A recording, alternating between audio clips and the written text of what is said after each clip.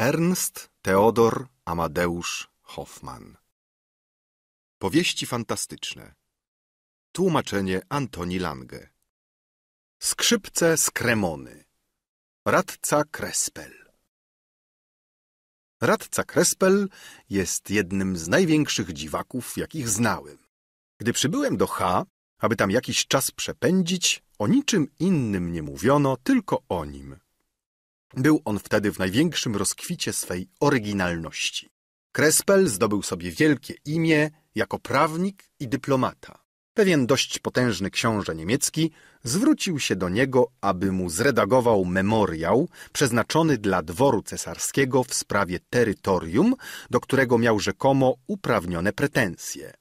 Memoriał powiódł mu się doskonale. A ponieważ Krespel żalił się pewnego razu, że nie mógł znaleźć wygodnego mieszkania, książę, tytułem nagrody za jego pracę, zobowiązał się na swój koszt kazać mu wystawić dom, jaki radca chciał zbudować według własnego pomysłu. Książę ofiarował mu nawet wybór terenu, ale Krespel nie chciał wcale przyjąć i zażądał, aby dom jego zbudowano w bardzo malowniczym ogrodzie, który posiadał pod miastem. Od tej chwili gromadził i zwoził materiał budowlany. Przybrany w kostium, który kazał sobie zrobić według swoich własnych osobistych przepisów, cały dzień miesił wapno, rozczyniał balk, to jest mieszaninę wapna z piaskiem, budował mury. Nie zwrócił się do żadnego z architektów, nie miał żadnego planu. Pewnego ranka jednak wynalazł sobie jakiegoś poczciwca majstra mularskiego z H i prosił go, by ten nazajutrz przyszedł do jego ogrodu z pewną liczbą robotników dla budowy domu. Majster oczywiście zapytał, jaki plan miałby być nakreślony i był niemało zdziwiony, gdy Krespel mu odpowiedział, że dla wykończenia budowy zupełnie tego mu nie potrzeba. Nazajutrz majster przyszedł na oznaczone miejsce ze wszystkimi ludźmi i widzi rów tworzący czworobok prawidłowy. Oto, rzecze Krespel, gdzie chce pomieścić fundamenty domu. Na koniec poproszę was, budujcie cztery mury puty, póki wam nie powiem dosyć. Jak to? Bez okien? Bez drzwi? Bez ścian poprzecznych? Zawołał mularz, prawie przerażony dziwactwem Krespela. Tak właśnie, jak wam mówię, mój zacny człowieku, spokojnie odpowiedział radca. A reszta sama się ułoży. Jedynie obietnica szczodrej zapłaty mogła sprawić, że mularz zdecydował się przystać na tę szaloną konstrukcję. Ale nigdy też żadnego gmachu nie budowano tak wesoło. Mury urastały wśród śmiechu robotników, którzy nie opuszczali prawie ogrodu Krespela, gdyż ten dawał jeść i pić obficie. Pewnego dnia Krespel zawołał — stój! Natychmiast kielnie i młoty zamilkły. Robotnicy zeszli z rusztowania i otoczyli Krespela, a każdy zdawał się go pytać. Cóż teraz będziemy robili? Miejsca! zawołał Krespel. Pobiegł na jeden koniec ogrodu, wrócił powoli ku swemu czworobokowi ścian, potrząsnął głową, ruszył na drugi koniec, jeszcze raz powrócił i kilkakrotnie powtórzył ten bieg, aż w końcu uderzył głową o ścianę i zawołał. Przybywajcie, Przybywajcie i zróbcie mi tu drzwi. Określił szerokość i wysokość, a rozkaz jego natychmiast był wykonany. Skoro drzwi przebito, wszedł do środka i uśmiechnął się z zadowoleniem. Gdy majster mu powiedział, że ten budynek ma ściśle wysokość domu dwupiętrowego. Krespel przechadzał się wzdłuż i wszerz po podwórzu między murami, a za nim szli mularze z młotkami i motykami w ręku i gdy tylko krzyknął tu okno sześć stóp wysokie, cztery stopy szerokie, tam okienko, natychmiast je otwierano. Przybyłem do H właśnie w czasie tej roboty i zabawnie było oglądać setki ludzi, którzy się gromadzili dokoła ogrodu i wydawali okrzyki radości na widok padających cegieł lub na widok okna, ukazującego się niespodzianie tam, gdzie tego nikt nie przewidywał. Reszta konstrukcji domu i inne prace konieczne wykonano w ten sam sposób, według nagłych postanowień Krespela. Szczególność tego przedsięwzięcia zdziwienie, jakiego doznano, widząc, że ostatecznie dom był o wiele lepszy niż oczekiwano, szczodrość Krespela, wszystko to podtrzymywało wesołość robotników. Trudności, jakie przedstawiał ten szczególny sposób budowy, były zwyciężone i w niedługim czasie ukazał się dom, którego postać zewnętrzna była nadzwyczaj śmieszna, gdyż żadne okno nie było podobne do drugiego. Ale wewnątrz rozkład pokojów bardzo wygodny i urządzenie było szczególnie przyjemne. Wszyscy ci, którzy dom oglądali, byli w zgodzie co do tego i ja też stanąłem po stronie tej opinii, gdy mnie Krespel do swego domu wprowadził. 2. Nie miałem jeszcze sposobności rozmawiać z tym dziwakiem. Budowa tak go absorbowała, że nie przyszedł we wtorek, jak to było w jego zwyczaju, obiadować u profesora M i nawet kazał mu powiedzieć, że nie opuści swego domu, póki nowego mieszkania nie poświęci. Wszyscy jego przyjaciele i znajomi sądzili, że Krespel tego dnia urządzi wspaniałą ucztę. Tymczasem zaprosił tylko mularzy, majstrów, czeladników i uczniów, którzy pracowali w jego domu i zastawił im stół najdelikatniejszym jadłem. Mularze połykali do woli pasztet z dziczyzny. Stolarze smakowali z zadowoleniem złote bażanty, a głodni robotnicy rozkoszowali się ptactwem na truflach. Wieczorem przyszły ich żony i córki i był wielki bal. Krespel tańczył walca z żonami majstrów, po czym wszedłszy do orkiestry, wziął skrzypce i aż do samego rana przygrywał do tańca. Następnego wtorku, ku swej wielkiej radości, spotkałem radcę u profesora M. Nic osobliwszego nad jego zachowanie. Był on bardzo nerwowy, a ruchy miał tak gwałtowne, że co chwila można się było lękać, czy ten człowiek się nie zrani lub czy nie połamie jakiego mebla. Ale nic takiego mu się nie zdarzyło. A pani domu, która go znała lepiej niż ja, bez trwogi się przyglądała, jak wielkimi krokami szybko krąży dokoła stołu, ozdobionego piękną porcelaną, jak stawał przed wielkim zwierciadłem lub brał do ręki jakąś subtelnie malowaną wazę, aby podziwiać jej barwy. Krespel badał szczegółowo przed obiadem wszystko, co się znajdowało w pokoju profesora.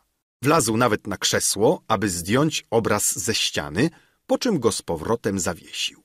Mówił wiele i żywo, przeskakując od przedmiotu do przedmiotu, po czym przyczepiał się do jakiejś myśli i wracał do niej tysiącem nawrotów, tysiącem szczególnych sposobów, gubiąc się sam w swoich odskokach, aż na koniec inna myśl nim owładnęła. Głos jego był już to surowy i gwałtowny, już to żałosny i stopniowany, a zawsze w niezgodzie z mową. Mówiono o muzyce i chwalono bardzo nowego kompozytora. Krespel zaczął się śmiać i zawołał tonem jakby psalmodii. Chciałbym, aby go szatan na czarnych skrzydłach porwał na dziesięć tysięcy milionów łokci w głąb otchłani bezdennej, aby porwał tego przeklętego układacza nut, po czym dodał głosem twardym i rozdrażnionym. Ona to anioł niebiański, to akord czysty, to harmonia boska, światło i gwiazda śpiewu. Trzeba było sobie przypomnieć, że godzinę temu mówiliśmy o sławnej śpiewaczce. Podano pieczeń zajęczą. Zauważyłem, że Krespel starannie odkładał kości z boku na swym talerzu i poprosił o nogę zwierzęcia, którą mu z uśmiechem przyniosła córeczka profesora. W czasie obiadu dzieci bardzo przyjaznym okiem spoglądały na radcę. W chwilę potem zbliżyły się do niego z szacunkiem i zatrzymały się na parę kroków przed nim.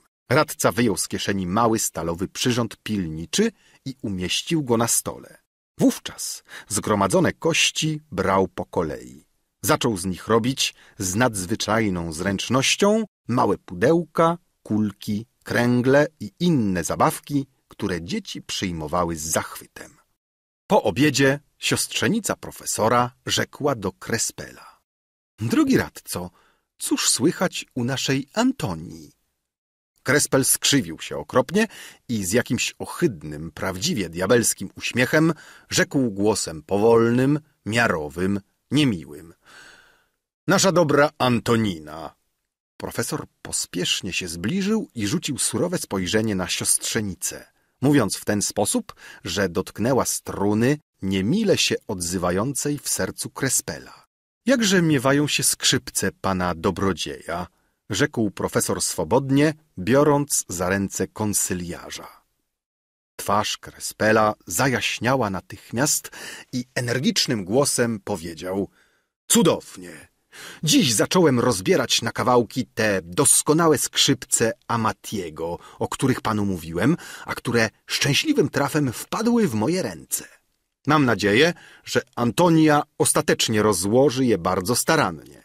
Antonia to dobra dziewczyna, rzekł profesor.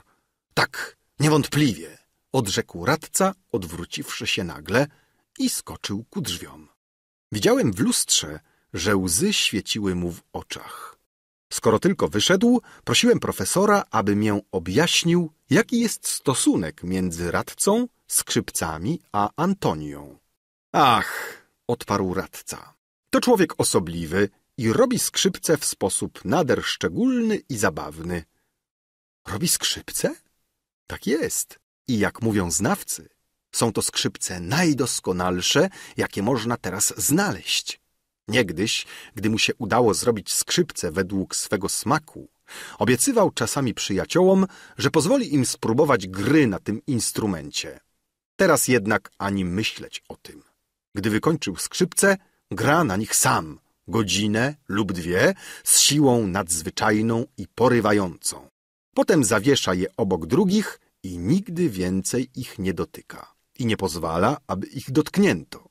Jeżeli są skrzypce jakiego starego mistrza na sprzedaż, Krespel je kupuje za jaką bądź cenę. Ale gra na nich tylko jeden raz, po czym je rozbiera, aby poznać ich budowę wewnętrzną. I jeżeli nie znajduje w nich tego, co sobie wyobraził, rzuca różne kawałki do wielkiej skrzyni, już pełnej podobnych szczątków. Ale Antonia, zapytałem żywo. Jest to kwestia, rzekł profesor, która by mi kazała czuć wstręt do radcy, gdybym nie był przekonany, znając dobroć jego charakteru, że w tym stosunku kryje się jakaś okoliczność tajemnicza i nieznana. Gdy radca przybył kilka lat temu, aby się osiedlić w naszym mieście, żył samotnie ze starą gospodynią w ubogim domu. Wkrótce dziwactwa jego obudziły ciekawość sąsiadów i skoro tylko to dostrzegł, zaczął szukać znajomości i znalazł je bez trudu. We wszystkich rodzinach, jak w mojej, przyzwyczajono się do niego tak, że wkrótce stał się nieodzowny. Dzieci go pokochały mimo jego surowej miny i lękały się go znużyć. Widział pan dzisiaj sam, jak to on umie zdobyć sobie ich przyjaźń za pomocą dowcipnych wyrobów. Sądziliśmy, że jest nieżonaty i on też nigdy nie zaprzeczył tej opinii. Przebywszy jakiś czas między nami, odjechał nagle, nikt nie wiedział, dokąd się udał, a powrócił w kilka miesięcy potem. Nazajutrz, po jego powrocie, okna w jego domu były rzęsiście oświetlone. Ta nadzwyczajna jasność zwróciła uwagę sąsiadów. Wkrótce usłyszano cudowny głos. Głos kobiety z towarzyszeniem fortepianu. Potem zabrzmiały akordy skrzypiec, które współzawodniczyły z głosem ludzkim pod względem energii i giętkości. Natychmiast poznano smyczek radcy. Zmieszałem się z tłumem widzów, których ta dziwna scena zgromadziła przed ogrodem i wyznaję, że wobec tego nieznanego głosu, wobec tych tonów, co tak żywo przenikały mą duszę, śpiew najsławniejszych śpiewaczek, jakie słyszałem kiedykolwiek, zdawał mi się mdły i bez wyrazu. Nigdy nie miałem pojęcia o tonach tak długo wytrzymanych, o tych trylach słowiczych, o tych nutach przezroczystych, które czasem urastały aż do grzmotu organów lub opadały do najcichszego szmeru. Wszyscy słuchacze byli pod czarem tych melodii i gdy śpiewaczka milkła, wszyscy ledwie oddychali w głębokim milczeniu. Było koło północy, gdyśmy usłyszeli naraz głos pana radcy, który mówił żywo i głośno. Drugi głos męski zdawał się czynić mu wyrzuty, a nadto słyszano przerywany, rozżalony głos młodej kobiety. Radca krzyczał coraz głośniej, aż na koniec przybrał ton śpiewny, który pan już poznał. Przenikliwy krzyk młodej dziewczyny przerwał tę rozmowę, po czym wszystko zapadło w milczenie grobowe. Wówczas ukazał się młody człowiek, który łkając wybiegł z domu, rzucił się w wóz pocztowy, co go oczekiwał i oddalił się pospiesznie. Nazajutrz radca miał minę bardzo wesołą, a nikt nie zdobył się na odwagę, by go zapytać o zdarzenia nocy poprzedniej. Służąca opowiadała tylko, że radca sprowadził ze sobą młodą pannę nadzwyczajnej piękności. Miała na imię Antonia i śpiewała cudownie. Przybył z nią młodzieniec, który zdaje się czuł dla niej głęboki sentyment i mógł być jej narzeczonym, ale radca zmusił go do rychłego odjazdu. Stosunek radcy do Antonii, mówił dalej profesor, jest aż do dziś osnuty głęboką tajemnicą. Ale rzeczą jest pewną, że Krespel wobec tej biednej dziewczyny uprawia straszliwą tyranię. Ukrywa ją, jak doktor Bartolo krył swą wychowankę. Zaledwie jej pozwoli wyjrzeć przez okno. Jeżeli ulegając ciągłym nagabywaniom wprowadza ją do jakiego salonu, nieustannie ją śledzi argusowym okiem i nie znosi, aby wobec niej zagrano najmniejszy akord muzyczny, a tym bardziej nie dopuści, aby śpiewała. Nie może też śpiewać w swoim domu. A te melodie, jakie słyszeliśmy owej nocy pamiętnej, a których całe miasto nigdy nie zapomni, pozostały wśród słuchaczów jako cudowna tradycja. I ci nawet, którzy nie byli na tym koncercie, mówią, gdy jaka śpiewaczka u nas wystąpi, wszystko to nic, tylko Antonia umie śpiewać. 3. Rzeczy fantastyczne mają dla mnie urok niesłychany. Chciałem zapoznać się z Antonią. Znałem już z zachwytu publiczności czar jej głosu. Sądziłem jednak, że ta młoda osoba była w tym mieście uwięziona pod władzą dziwacznego Krespela. Następnej nocy w marzeniach sennych słyszałem idealny śpiew Antonii. Zdawało mi się, że w jakimś adagio, które sam skomponowałem, błagała mnie, abym ją ocalił. I postanowiłem wejść do domu Krespela, przeniknąć jak drugi Astolf do zamku Alcydy i z haniebnych więzów uwolnić królową pieśni. Wszystko odbyło się wcale inaczej niż sobie wyobrażałem. Zaledwie widziałem radcę dwa, trzy razy i mówiłem mu z zapałem o najlepszej budowie skrzypiec, gdy ten prosił mnie, bym go w domu odwiedził. Udałem się do niego, on zaś pokazał mi swoje skarby. Ujrzałem koło trzydzieści skrzypiec zawieszonych szeregiem koło siebie w jego gabinecie i wyróżniłem jedne z nich, godne uwagi z oznak swej starożytności i urzeźbień. Skrzypce te wisiały wyżej niż inne i miały u wierzchołka wieniec z kwiatów, niby król tych wszystkich instrumentów. Skrzypce te rzekł mi Krespel, są doskonałym dziełem nieznanego mistrza, który żył zapewne za czasów Tartoniego. Przekonany jestem, że w ich strukturze wewnętrznej tkwi jakaś szczególna kombinacja i że, gdy je rozbiorę, znajdę w nich tajemnicę, której szukam od dawna. Śmiej się pan, jeśli zechcesz, ale ten nieżywy instrument, któremu ja daję życie i wyraz, Przemawia do mnie często cudownym językiem, a gdym grał na nim po raz pierwszy, zdawało mi się, że jestem magnetyzerem, który pobudza lunatyczkę, aby mu wyjawiła swe utajone wrażenia. Niech pan nie sądzi, że jestem dziwak, który pozwala się opanować fantazjom tego rodzaju. Jest to jednak rzecz osobliwa. Nie miałem nigdy tyle odwagi, by rozebrać tę niemą maszynę. Zresztą obecnie jestem zadowolony, że uszanowałem te skrzypce, gdyż odkąd tu jest Antonia, gram na nich niekiedy wobec niej. Antonia słucha z przyjemnością, z nazbyt wielką przyjemnością. Radca wygłosił te słowa ze wzruszeniem, które mnie ośmieliło tak, że powiedziałem — O drogi panie, czy nie zechciałby pan zagrać przy mnie? Twarz jego przybrała natychmiast wyraz niezadowolenia i głosem powolnym, a śpiewnym rzekł mi Nie, mój miły studencie. I na tym się skończyło. Pokazawszy mi dalej bardzo wiele osobliwości, z których niejedna była czystym dzieciństwem, Wziął małą skrzyneczkę i wyciągnął z niej rulonik papieru, który mi włożył w rękę i uroczyście powiedział. Jest pan miłośnikiem sztuki. Przyjmij ten dar, który powinien ci na zawsze stać się drogocennym. To mówiąc, lekko popchnął mnie w plecy i ucałował mnie na progu. W istocie, rzec można, symbolicznie wyrzucił mnie za drzwi.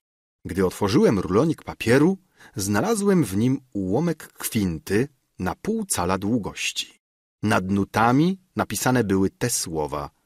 Kawałki kwinty, którą znakomity Stamic wykonał na skrzypcach w czasie swego ostatniego koncertu. Po gwałtownej odpowiedzi, jaką mi dał, gdy wymawiał imię Antonii, sądziłem, że już nigdy dziewczyny tej nie ujrzę. Ale inaczej się stało. Gdy odwiedziłem radcę po raz drugi, zastałem w jego pokoju Antonię, która składała rozłączone części skrzypiec. Na pierwszy widok Antonia nie robiła wielkiego wrażenia, ale wkrótce nie byłeś w stanie odwrócić spojrzenia od jej oczu błękitnych, od jej ust różowych, od jej twarzy łagodnej i tkliwej. Była bardzo blada, ale z chwilą, gdy rozmowa przybierała charakter dowcipny i ożywiony, policzki jej nabierały rumianej barwy i czarowny uśmiech błądził po jej ustach. Rozmawiałem z Antonią bez przymusu, i nie zauważyłem wcale u Krespela tych argusowych oczu, o których mówił mi profesor. Radca zachował usposobienie zwykłe i rzekłbyś nawet podobała mu się moja rozmowa z młodą panną. Często go odwiedzałem i między nami trojgiem rozwinęła się swoboda i rodzaj serdeczności, która nadawała niemały czar naszym zebraniom. Radca bawił mię wielce swymi osobliwościami ale Antonia pociągała mnie ku sobie w sposób nieodparty. I dzięki niej znosiłem wiele rzeczy, których w innym położeniu nie wytrzymałaby moja niecierpliwa natura. Rozmowa radcy była często nudna i w złym smaku. A co mnie zwłaszcza rozżalało przeciw niemu, to ten fakt, że za każdym razem, gdy zaczynało się mówić o muzyce, Krespel zwracał ku mnie twarz wykrzywioną z niezadowolenia, przykro uśmiechniętą i śpiewnym głosem wypowiadał kilka szczególnych słów, aby odwrócić rozmowę. Ze smutku, jaki się w takich chwilach objawiał na twarzy Antonii, mogłem sądzić, że radca działał tak jedynie, aby przeszkodzić mi w życzeniu moim słabo utajonym słyszeć śpiew młodej panny. Nie zrzekłem się mimo tego swego projektu. Przeszkody, jakie radca stawiał mym pragnieniom, wzmacniały tylko moje postanowienie. Chciałem słyszeć śpiew Antonii, aby się nie zatracić w marzeniach sennych, jakie mi dawało niewyraźne pojęcie o tym śpiewie. Pewnego wieczoru Krespel był w humorze doskonałym. Rozebrał jedne ze skrzypiec z kremony i odkrył, że tabela harmonii w tych skrzypcach była o pół linii bardziej nachylona niż w innych. Co za cenne odkrycie dla praktyki. Udało mi się ożywić go jeszcze bardziej, wypowiadając zdanie o prawdziwych sposobach gry smyczkowej. Metoda wielkich śpiewaków, starych mistrzów, o których mówił Krespel, stała się dla mnie motywem krytyki nowej metody śpiewu. Potępiałem ten śpiew nowoczesny, który się układa według sztucznych efektów instrumentów muzycznych. Cóż za niedorzeczność, Zawołałem, powstając nagle z krzesła i otwierając szybko fortepian. Cóż to za niedorzeczność rozwodzić po jednemu dźwięki po ziemi. Zaśpiewałem kilka nowych kompozycji, wtrącając w nie złe akordy. Krespel śmiał się do rozpuku i wołał. Ach, ach! Zdaje mi się, że słyszę naszych Niemców zwłoszczonych lub naszych Włochów zniemczonych, śpiewających coś z Pukita lub Portogalo, albo kawałki jakiegoś maestro de capella. Teraz sądziłem, nadszedł moment. Jestem przekonany, rzekłem zwracając się do Antonii, że pani nie zna tej ohydnej metody. I zacząłem śpiewać pełną wyrazu, cudowną melodię starego Leonarda Leo. Twarz Antonii pokryła się świetnym blaskiem. Oczy jej zabłysły, żywo poskoczyła do fortepianu i otworzyła usta. W tej samej chwili Krespel wziął mnie za ramiona i rzekł mi wstrząśniętym głosem — Dziecko, dziecko! Po czym mówił dalej miarowo, kłaniając mi się z głębokim szacunkiem. Uchybiłbym niewątpliwie, mój wielce szanowny panie, wielkim konwenansom i zwyczajom grzeczności, gdybym powiedział głośno, aby cię swymi ognistymi szponami diabeł porwał natychmiast i uniósł na samo dno przepaści. Ale nie idąc tak daleko, przyznasz, mój najmilszy, że noc jest bardzo ciemna i że, ponieważ latarnie są niezapalone, jeżeli nawet nie wyrzucę cię przez okno, zechcesz swoje ciało i kości zdrowo sprowadzić na sam dół klatki schodowej. Weź zatem tę świeczkę, idź w spokoju do domu i pamiętaj o tym, że masz we mnie przyjaciela tkliwego i oddanego, choć już nigdy, rozumiesz, nigdy nie zobaczysz mnie tu, w moim mieszkaniu. To rzekłszy, ucałował mnie i powoli skierował ku drzwiom, trzymając mnie w ten sposób, że nie mogłem już ani razu zobaczyć spojrzenia Antonii. Przyznacie, że na moim miejscu trudno było zwymyślać radcę, choć miałem do tego wielką ochotę. Profesor śmiał się wielce z mej przygody i twierdził, że moje stosunki z radcą skończyły się na zawsze. Antonia była dla mnie istotą zbyt szlachetną i zbyt świętą, abym mógł odgrywać pod jej oknami tęsknotliwe amoroza. Opuściłem miasto H z sercem rozżalonym i zrozpaczonym. Obraz Antonii ukazywał mi się otoczony niby aureolą, a jej śpiew, którego nigdy nie słyszałem, brzmiał w moim sercu jak pocieszająca muzyka. 4. Od dwóch lat przebywałem w B, gdzie przedsięwziąłem podróż po Niemczech Południowych. Pewnego wieczoru, w purpurze zachodzącego słońca, ujrzałem rysujące się wieże H. W miarę przybliżania czułem się opanowany jakimś niewypowiedzianym niepokojem. Miałem niby ciężar wielki na piersi, było mi duszno i zlazłem z powozu, aby oddychać swobodnie. Wkrótce owo przybicie moralne stało się cierpieniem fizycznym. Zdawało mi się, że słyszałem w powietrzu dźwięki uroczystego śpiewu. Melodia stała się bardziej wyrazista, rozróżniałem głosy mężczyzn modulujących pieśń kościelną. Co się stało? Zawołałem z bólem niewymownym. Czy pan nie widzi? Odparł pocztylion. Kogoś chowają tam, na cmentarzu. W istocie Zbliżyliśmy się do cmentarza i ujrzałem grupę ludzi ubranych czarno i otaczających rów, który zasypywano. Łzy mi popłynęły z oczu. Zdawało mi się, że oto chowają wszystkie me radości i szczęście mego życia. Zestąpiłem w dolinę wzgórza i nie mogłem już widzieć, co się dzieje na cmentarzu. Śpiew ustał i dostrzegłem na drodze ludzi w żałobie, wracających z pogrzebu. Profesor przeszedł koło mnie ze swą siostrzenicą, ale mnie oboje nie zauważyli. Siostrzenica trzymała chustkę przy oczach i łkała gorąco. Nie mogłem żadną miarą wejść do miasta. Posłałem do gospody swego służącego wraz z powozem i zacząłem krążyć po tych miejscach, które znałem tak dobrze, chcąc w ten sposób przyjść do siebie od wzruszenia, którego źródłem być może było znużenie podróżą albo inna przyczyna. Szedłem teraz aleją, która prowadziła do ogrodu publicznego i tu byłem świadkiem szczególnego widowiska. Radcę Krespela prowadzili dwaj ludzie w żałobie. Ten zaś skakał i wydzierał się im gwałtownie. Nosił jak zwykle swój szary kostium, wykrajany w sposób szczególny. Strój graniastego kapelusza, marsowo pomieszczonego na głowie, spadała powiewna czarna krepa.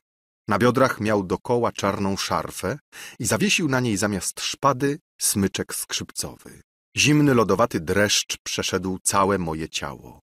Jest obłąkany, mówiłem do siebie i szedłem za nim powoli. Ci, co nad nim czuwali, odprowadzili go do domu.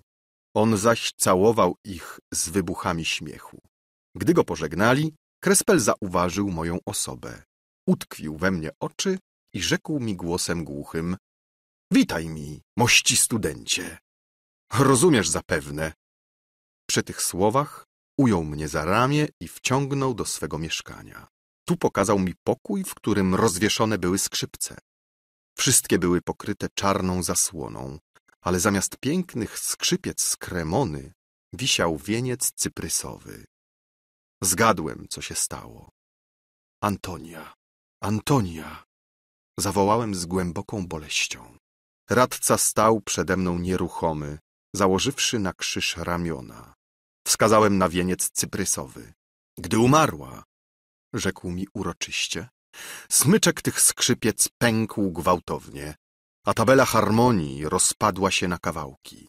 Ten wierny instrument mógł żyć tylko z nią i dla niej.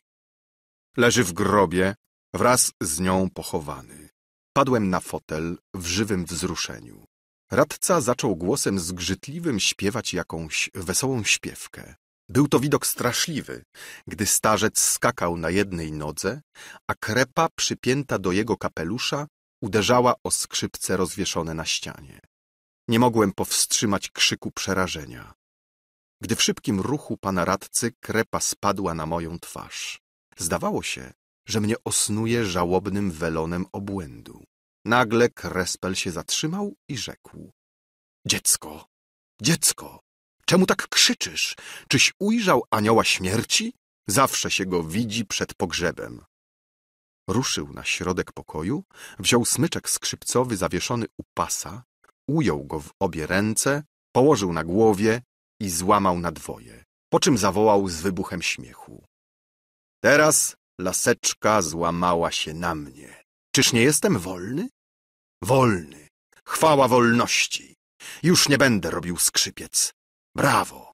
Już nie będę robił skrzypiec. I na nowo zaczął śpiewać w sposób jeszcze okropniejszy, jakąś figlarną melodię, znowu biegając i skacząc na jednej nodze. Przerażony tą sceną chciałem uciec. Zatrzymał mnie silną ręką i spokojnie mi powiedział. Zostań, panie studencie. Nie uważaj za szaleństwo tych wyskoków boleści, która mnie zabija. Wszystko to się stało dlatego, że sobie ostatnio kazałem zrobić szlafrok, nadający mi pozór przeznaczenia lub Boga. Wezwałem jego starą gospodynię i byłem zadowolony, że na koniec mogę wyjść. Nie wątpiłem, że Krespel ma pomieszanie zmysłów. Profesor jednak był przeciwnego zdania. Są ludzie, mówił, co to im natura lub jakieś szczególne zdarzenie zdziera zasłonę, pod którą my zazwyczaj popełniamy różne szaleństwa w sposób niepostrzeżony. Są oni, rzekłbyś, jak te owady w skórze przezroczystej, poprzez którą dostrzec można grę ich muskułów. Wszystko, co u nas jest w stanie myśli, u Krespela wyraża się czynem. Jego kurcze, jego dziwadlane tańce malują gorzką ironię losu, który często igrał z nim na tym świecie. Ale w tym jest jego zbawienie. Co pochodzi z ziemi, odda on ziemi. Co idzie z nieba, to potrafi zachować. I mimo tego wstrząsającego obłąkania nie utracił poczucia samego siebie. Nagła śmierć Antonii przygnębiła go niezmiernie. Jednakże pewien jestem, że od jutra wróci do swych nawyków. W istocie wszystko się stało mniej więcej tak, jak przewidział profesor. Radca ukazał się znów nazajutrz takim, jakim był niegdyś. Oświadczył jedynie, że już nie będzie robił skrzypiec i nie będzie grał na tym instrumencie, jakoż istotnie dotrzymał słowa. 5. Słowa profesora dodały jeszcze mocy podejrzeniom, jakie miałem co do stosunku radcy do Antonii. Sądziłem nawet, że śmierć Antonii ciążyć musi surowo na sumieniu Krespela. Nie chciałem opuścić H, zanim go nie złamie wyrzutami w sprawie zbrodni, jaką moim zdaniem popełnił. Chciałem nim do głębi serca wstrząsnąć i zmusić go, aby mi się przyznał do swego straszliwego postępku. Im bardziej w tej sprawie myślałem, tym oczywistszym było dla mnie, że Krespel był zbrodniarzem. I mowa, z którą miałem się zwrócić do niego, przybierała coraz bardziej koloryt gorący i gwałtowny. Ostatecznie Było to prawdziwe arcydzieło retoryki. Tak przygotowawszy swą orację, którą mi rozpaliła wyobraźnia, pobiegłem do Krespela. Zastałem go w chwili, gdy z twarzą spokojną i uśmiechniętą strugał różne zabawki dziecinne. Jak to? Zawołałem oburzony. Jak może pan przez chwilę mieć duszę spokojną, gdy myśl ohydnego czynu powinna by pana dręczyć bez litości? Spojrzał na mnie z podziwem i złożył na boku swe pilniki. Co chcesz powiedzieć, mój dobry przyjacielu? zapytał. Proszę cię, zechciej usiąść. Zapalałem się coraz bardziej. Oskarżyłem go, że spowodował śmierć Antonii i groziłem mu pomstą niebieską. Pełny jeszcze dumy ze świeżo uzyskanej godności jurysty, zacząłem go nawet zapewniać, że poruszę wszystkie sprężyny, aby odkryć ślady przestępstwa i oddać go w ręce sprawiedliwości. Czułem się jednak szczególnie zakłopotany, gdy po ukończeniu mej pompatycznej oracji szanowny radca spoglądał na mnie bez najmniejszego niepokoju, jakby oczekując dalszego ciągu mego przemówienia. Chciałem jeszcze coś powiedzieć, ale wszystko, co wyrażałem, zdawało mi się niewłaściwe i mętne tak, że nie śmiałem już dalej mówić. Krespel bawił się moim zakłopotaniem. Ironiczny, złośliwy uśmiech błądził po jego twarzy. Wkrótce jednak przybrał minę poważną i rzekł mi imponująco. Młodzieńcze, możesz mnie uważać za wariata, za oryginała. Przebaczam ci, gdyż obaj jesteśmy zamknięci w domu obłąkanych i gniewasz się na mnie za to, że ja sądzę się być Bogiem Ojcem, ty zaś uważasz się za Boga Syna. Ale jakże ośmielasz się przeniknąć w tajemnicze nici żywota, który powinien ci być obojętny? Antonia już nie żyje. Tajemnica ustała. Podniósł się, zaczął chodzić po pokoju wzdłuż i wszerz. Utkwił we mnie spojrzenie, wziął mnie za rękę. Poprowadził mnie do okna, otwarłszy jego dwie połowice. Oparł się o kamień balkonu, oczy skierowawszy na ogród i opowiedział mi historię swego życia. Gdy skończył, pożegnałem go wzruszony i zawstydzony. Oto w kilku słowach historia Antonii. Na jakie dwadzieścia lat przed okresem, o którym tu opowiadam, radca udał się do Włoch, pragnąc odnaleźć najlepsze skrzypce dawnych mistrzów. Nie zbudował jeszcze żadnego z tych instrumentów i nie myślał o ich rozbieraniu.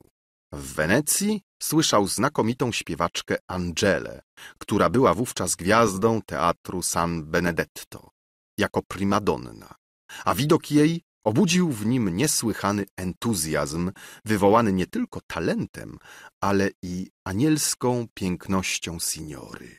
Starał się z nią zapoznać i mimo pewnej gburowatości swojego zachowania zdobył sobie łaskę młodej artystki, dzięki śmiałej i pełnej wyrazu swojej grze na skrzypcach. W parę tygodni potem zawarł z nią ślub, który musiał zostać tajemnicą, gdyż Angela nie chciała ani opuścić teatru, ani zrzec się swego sławnego imienia, by je zastąpić miała dźwięcznym nazwiskiem Krespel. Radca z szaloną ironią opisał mi wszystkie męczarnie, jakie znosić musiał ze strony signory Angeli z chwilą, gdy ta została jego żoną. Wszystkie kaprysy, wszystkie szaleństwa wszystkich pierwszych śpiewaczek były złączone, zjednoczone w małym ciałku Angeli. Jeżeli mu się kiedyś zdarzało wyrazić swoją wolę, natychmiast Angela wypuszczała przeciw niemu całą gromadę opatów, maestrów, akademików, którzy nie znając jego praw małżeńskich, traktowali go jako nieznośnego i źle wychowanego amanta. Razu pewnego, po jednym z takich burzliwych dni, Krespel uciekł z miasta i schronił się w wiejskim domu Angeli i dla zapomnienia swych cierpień wygrywał różne fantazje na swych skrzypcach z kremony. W parę chwil potem signora wchodzi do domu. Miała ona w tym momencie kaprys czułości. Całuje radcę, rzucając nań spojrzenia pełne tęsknoty i głowę mu składa na ramieniu. Krespel, uniesiony wirem swych akordów, dalej z zapałem ciągnie swą grę i przypadkowo dotyka signorę końcem swego smyczka. Wówczas ona rzuca się ku niemu wściekła. Bestia tedeska krzyczy i wydzierając mu smyczek z rąk, łamie go na marmurowym stoliku. Radca przez chwilę stał wobec niej skamieniały. Wreszcie budząc się niby ze snu, silną ręką ujął signorę. Wyrzucił ją przez okno i nie zwracając uwagi na to, co się stanie, wyjechał do Niemiec. Dopiero w jakiś czas potem zaczął sobie zdawać sprawę ze swego gwałtownego czynu. Choć wiedział, że okno było nie wyższe niż pięć stóp od ziemi i choć był posłuszny niepokonanemu odruchowi, wyzwalając się w ten brutalny sposób od gniewu swojej żony, czuł jednak niepokój wewnętrzny, tym silniejszy, gdy przypomniał sobie, że signora miała nadzieję zostać matką. Drżał z pragnienia, by zyskać wiadomości i niemało był zdumiony, gdy w osiem miesięcy po swym powrocie otrzymał bardzo tkliwy list od Angeli. W liście nie było najmniejszej wzmianki o tym, co się stało w willi podmiejskiej. Donosił tylko, że signora powiła czarującą córeczkę. Z tego powodu Marito Amato, padre felicissimo, natarczywie był proszony, aby jak najprędzej przybył do Wenecji. Krespel, zanim przystał na tę prośbę, napisał do kilku ze swoich przyjaciół, aby go dokładnie powiadomili, co się zdarzyło od chwili jego odjazdu. I dowiedział się, że signora, wyleciawszy przez okno, lekko jak ptaszek upadła na trawnik i że ten upadek miał dla niej właśnie wyniki jak najlepsze. Energiczny czyn Krespela całkowicie zmienił kapryśną naturę młodej kobiety. Od tego dnia nie dostrzegłbyś w niej żadnego z dawnych dziwactw jej charakteru. Maestro, który tego roku komponował sztuki karnawałowe, był najszczęśliwszym z ludzi, gdyż signora zgodziła się śpiewać, nie narzucając mu tysiąca wariantów, czego niegdyś wymagała. Radca, wzruszony tą zmianą, zamówił konie i siadł do dyliżansu. Nagle się zatrzymał. Być może, powiedział sobie, że sam mój widok obudzi na nowo w Angeli jej fantastyczne usposobienie. Może jeszcze raz będę ją musiał wyrzucić przez okno. Wrócił do siebie i napisał do żony list najczulszy w świecie, wyrażając radość, jakiej doznał na wiadomość, że jego córka ma, tak jak on, mały znaczek za uchem. Klął się, że ją kocha z całego serca, ale że musi pozostać w Niemczech. Korespondencja w tym tonie trwała dłuższy czas. Zapewnienia miłości, prośby, pragnienia, wyrazy żalu płynęły z Wenecji do H i z H do Wenecji. Na koniec Angela przybyła do Niemiec i w charakterze primadonny uzyskała wielkie powodzenie w teatrze miasta F. Nie była już młoda, ale jej śpiew miał czar nieprzeparty, gdyż głos jej nie utracił nic ze swej mocy. Antonia urosła i matka jej nie mogła się powstrzymać, by nie napisać radcy, że jej córka będzie pierwszorzędną śpiewaczką. Pewnego dnia przyjaciele Krespela zawiadomili go, że dwoje sławnych wirtuozów przybyło do F. I bardzo go prosili, aby się udał do tego miasta dla ich usłyszenia. Nie wiedział, jakie ścisłe węzły łączyły go z tą parą. Radca bardzo pragnął zobaczyć swą córkę, ale gdy tylko pomyślał o żonie, natychmiast budziły się w nim bardzo smutne myśli i został u siebie w towarzystwie swych połamanych skrzypiec. Młody, bardzo znany kompozytor, do szaleństwa zakochał się w Antonii. Dziewczę odpowiedziało mu miłością. Angela nie mogła nic zarzucić ich połączeniu. Radca zaś przystał na nie tym skwapliwiej, że dzieła młodego artysty znalazły łaskę w oczach jego surowego sądu. Codziennie Krespel oczekiwał wiadomości, że małżeństwo było zawarte, lecz zamiast tej radosnej nowiny otrzymał list z czarną pieczęcią, pisany nieznajomą ręką. Doktor R. zawiadamiał radcę, że poprzedniego wieczoru Angela po wyjściu z teatru przeziębiła się silnie i umarła w przededniu ślubu Antonii. Angela zawiadomiła doktora, że jest żoną Krespela i że mu powierza los swojej córki. Tegoż samego dnia radca wyjechał do F. Nie jestem w stanie wypowiedzieć, w jak wzruszający sposób Krespel mówił mi o chwili, w której po raz pierwszy zobaczył swą córkę. Była nawet w dziwactwie jego wyrażeń pewna siła, której nie mogę oddać słowem. Antonia miała wszystkie wdzięki swej matki, bez żadnej z jej przywar. Gdy Krespel przybył, młody narzeczony siedział koło niej. Antonia zaś, znając osobliwą naturę swego ojca, zaczęła śpiewać motyw starego mistrza Martiniego, który Angela niegdyś śpiewała radcy w okresie ich wielkiej miłości. Krespel rozrzewnił się wielce i wylewał potoki łez. Nigdy głos samej Angeli tak potężnie nie drgał mu w uchu. Śpiew Antonii był szczególnej natury. Już to był podobny do westchnień harfy eolskiej, już to do trylów słowiczych. Rzekłbyś, tony, wyśpiewywane przez nią, nie mogły się zawierać w piersi ludzkiej.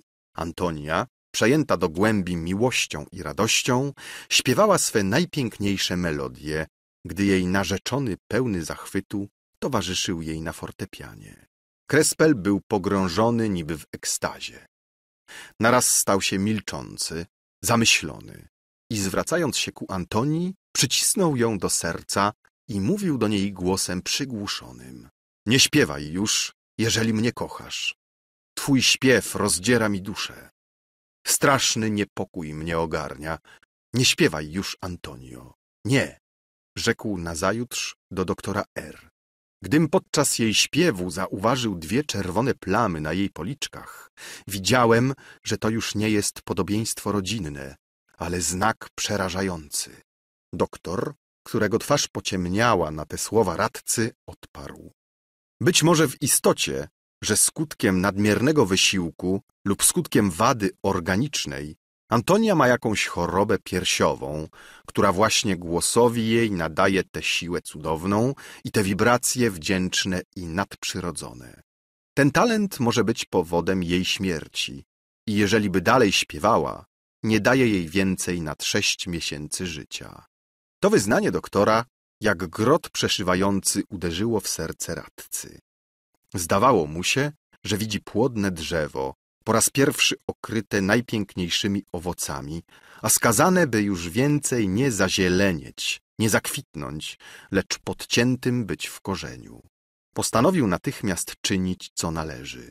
Wystawił wprost Antonii samej wszystkie swoje trwogi i pytał ją, czy woli iść za swoim narzeczonym, ulec czarom życia światowego i rychło umrzeć, czy też iść za ojcem w jego starości, dać mu odpoczynek i radość, jakiej ten nigdy nie zaznał, a za to żyć długo.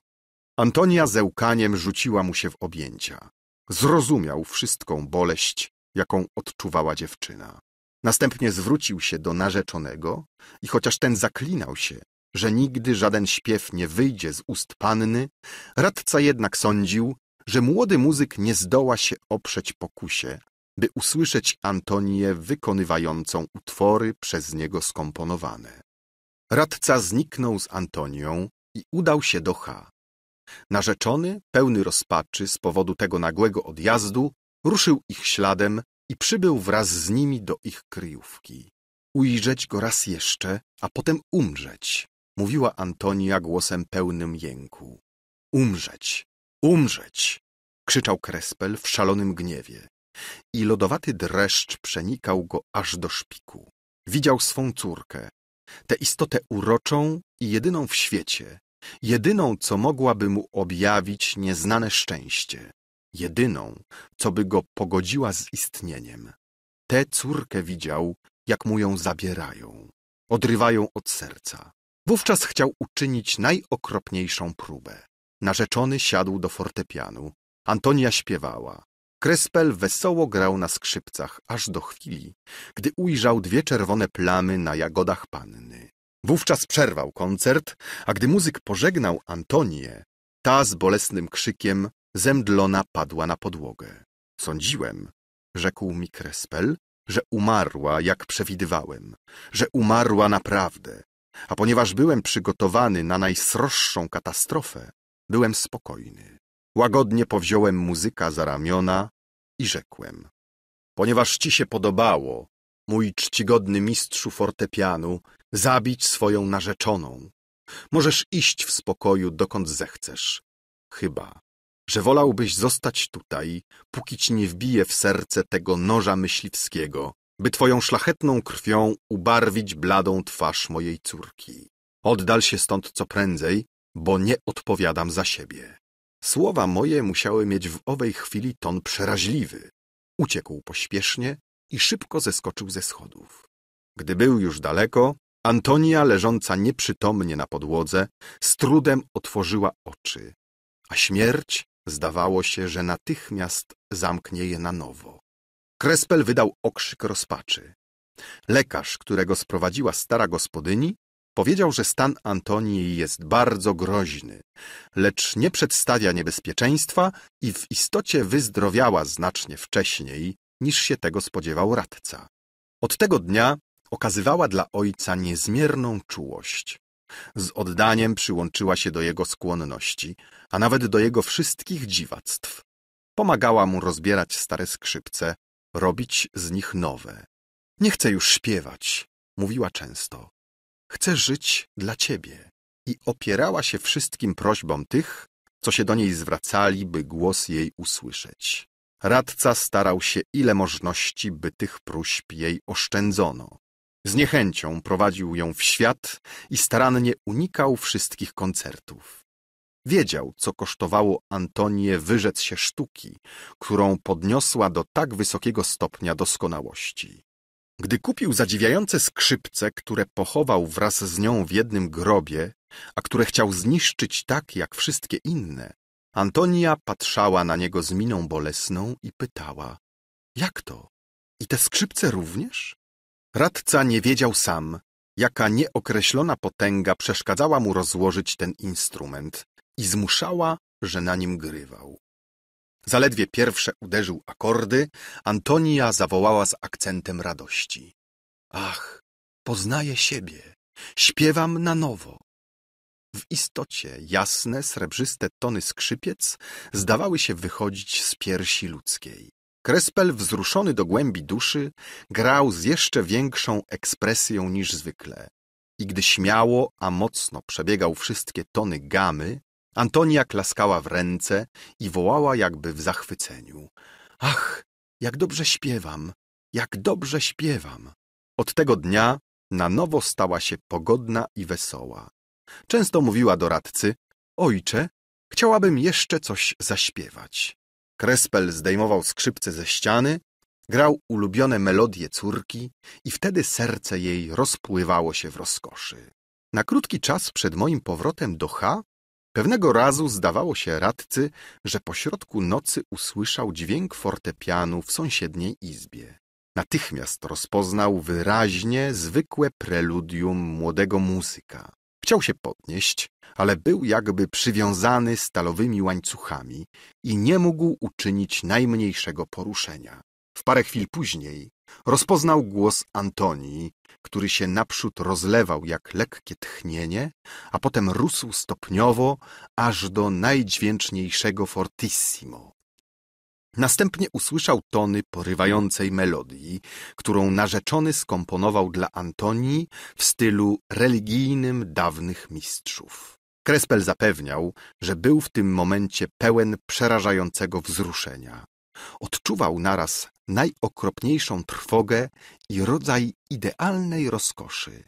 Naraz uderza go jasność oślepiająca. Widzi muzyka i Antonię, którzy się całują i patrzą na siebie w zachwyceniu. Melodia brzmiała dalej, choć Antonia nie śpiewała i choć jej narzeczony nie dotykał fortepianu. Radca upadł zemdlony. Gdy wrócił do przytomności, na nowo się w nim obudziła straszliwa trwoga, jakiej doznawał niby we śnie. Popędził do pokoju Antonii. Ujrzał ją na kanapie, z oczami zamkniętymi, z wargą uśmiechniętą, ze złożonymi rękami. Rzekłbyś, spała kołysana niebiańskimi marzeniami. Umarła.